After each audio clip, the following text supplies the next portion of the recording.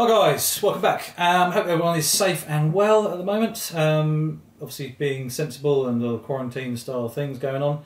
This COVID nineteen still sort of uh, there, um, unfortunately, but uh, I'm still trying to uh, give you some videos every now and again to kind of bring inspiration and keep people motivated and everything with the cameras. So hopefully, some of my videos have helped with that.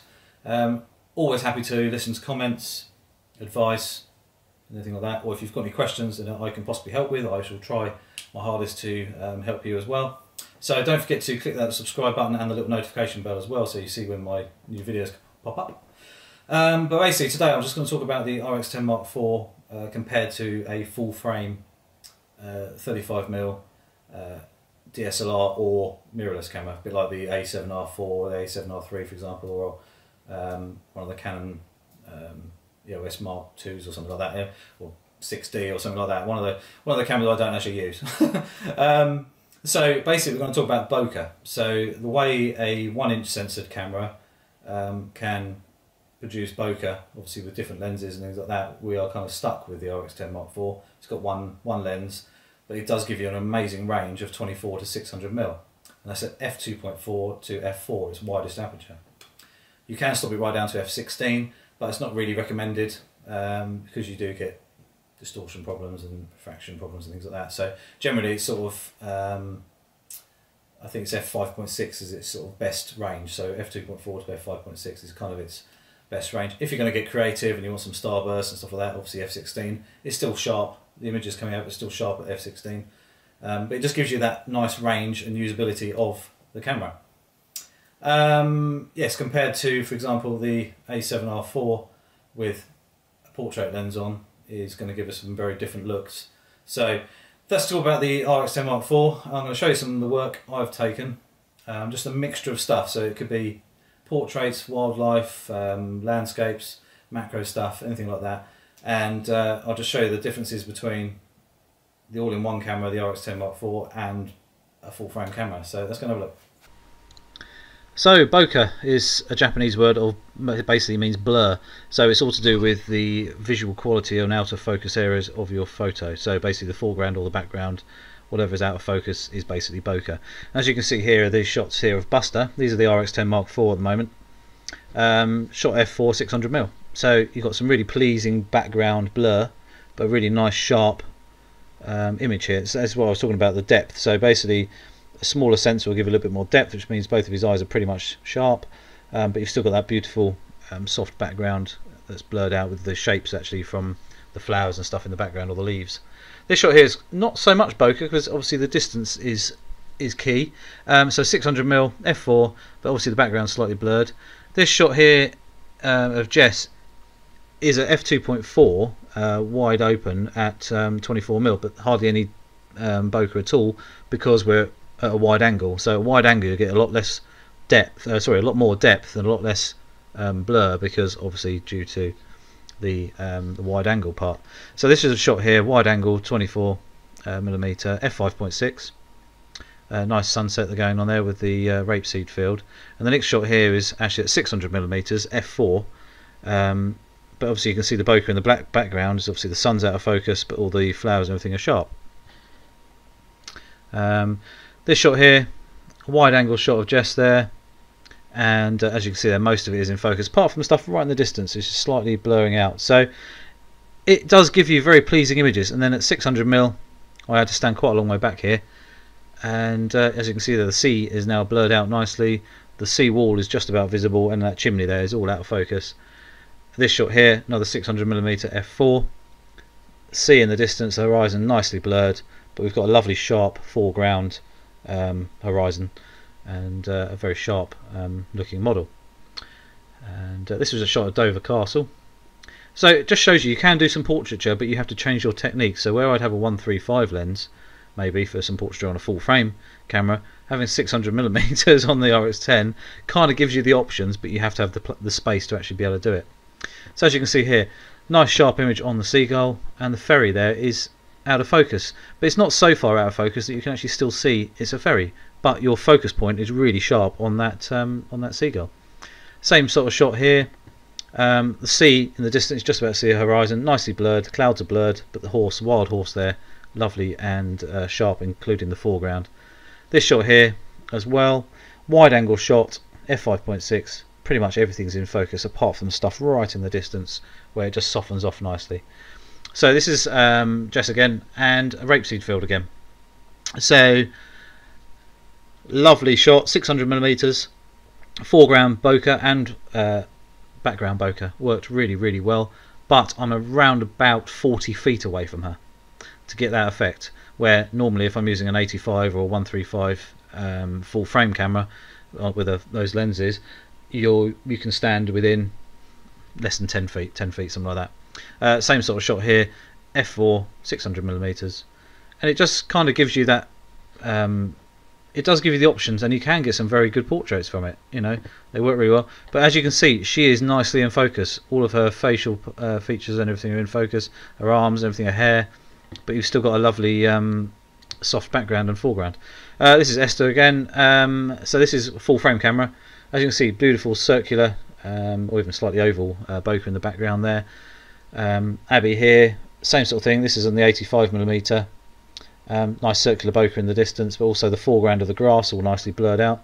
This is shooting through a tree, so Esther there, and you've basically got everything's out of focus apart from her, and that's kind of, you know, f1.4 um, kind of cool shot. This shot here, um, Melia doing the wedding dress thing at, at McDonald's worked really well, um, but that's actually a 135 f1.8 but I'm about 150 feet away, so it gave us really good depth still, but actually blurred the background out in the distance, like in the back, real far background of distance. 35mm f1.4, and uh, this shot here is the RX10 Mark IV f4, but as you can see, the background of, from Jess into the ceiling, or actually the bunker where we were, um, pretty much a little bit out of focus. This shot here um, of Charlotte 35mm f1.4 at f1.4 and you can see straight away boom it's gone. The background just softens off really nicely. Same here at Esther again 35mm f1.4 nice wide angle shot but everything's out of focus apart from her. But the depth is just enough but I'm still stood six or eight feet away from her something like that. But having that really soft um, background sometimes really makes your subjects stand out like you wouldn't believe. This shot here is actually, so just showing you the bokeh actually in the reflection more than anything. So that was the 135 um, lens there at f1.8. This shot here, the G Master uh, f uh, yeah 135 f1.8 at f1.8, really gave you some really nice soft bricks in the background and made Esther really the subject um, of the shot there. Worked really really nicely. Most of these shots here are tweaked; they're not edited. They are literally just a few adjustments on brightness and um, sort of contrast and stuff like that. Maybe convert to black and white. Uh, this is RX10 Mark IV, 600mm, same again. And this is the kind of shots you can get from this thing. It's absolutely awesome. You just need good light to keep the ISO down to 100 as much as possible to give you the cleanest shots. Um, but it, it is really a really good tool. It really works nicely. But as you can see, wildlife shots with a little nice little bit of bokeh of the other tree there, uh, bits of branches and stuff sticking out in the background, nicely out of focus. Um, same again here, but very very flattering um, bokeh there. It's almost perfectly circular, um, but nice and sharp on the bird. Worked really really well. This shot here I really like. It's just a rose, but the background is gone, and I'm about 20 feet away from the actual rose, and the background was miles away. So that was the RX10 Mark IV. This is back to the A7R3 uh, F uh, uh, sorry 135 f1.8. Really cool shot, deer, and even I managed to get even closer. And as you can see there, the background's completely gone. But as you can see, the line of focal plane from the front to the bottom right, where it's out of focus, into the focal um, depth, and then back out again, is very, very shallow. And I was about 30 feet away, roughly. Um, today, RX10 Mark IV, 600mm uh, bluebell. As you see, background's completely gone. This is shooting through some other bluebells, so basically, I'm shooting through out of focus stuff. So, but as you can see, the lines of the trees in the background are out of focus, so it's not circular; it's more like lines. So this one here, same sort of thing. I'll just move to a different angle, and the lighting and everything slightly changed, but you just got a very soft, nice out of focus background nice bit of bokeh there. It's just changing your techniques. So where where you'd actually have um, the option to open your lens right up to like f1.4. We don't have that option. Um, but you can still get some amazing shots like this, which are lovely circular bokeh in the background. That was at 24 millimeter at f2.4. This shot here was actually at 300 millimeters, and I fired the flash just to light up the fern, but also the background is quite nicely blurred. Another bluebell shot, probably the last one, hopefully. um, they are basically their end today, so there'll be another year before we see any of these.